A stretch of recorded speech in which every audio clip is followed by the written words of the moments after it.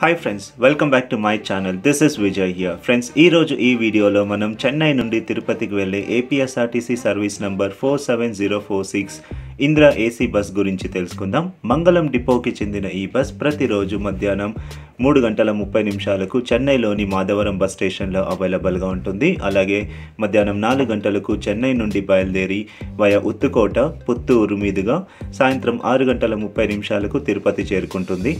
చెన్నై నుండి తిరుపతికి ఉన్న టోటల్ డిస్టెన్స్ సుమారు నూట ముప్పై ఐదు కిలోమీటర్స్. అండ్ చెన్నై నుండి తిరుపతి చేరుకోవడానికి ఈ బస్ తీసుకున్న టైం సుమారు రెండు గంటల ముప్పై నిమిషాలు.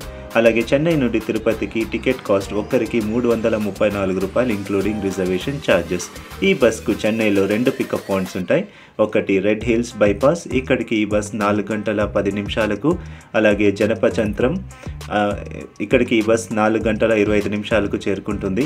ఈ బస్సు ఉత్తుకోటకు ఐదు గంటలకి అలాగే పుత్తూరుకు సాయంత్రం ఐదు గంటల నలభై నిమిషాలకు చేరుకుంటుంది. Thank you for watching this video please like and subscribe to my YouTube channel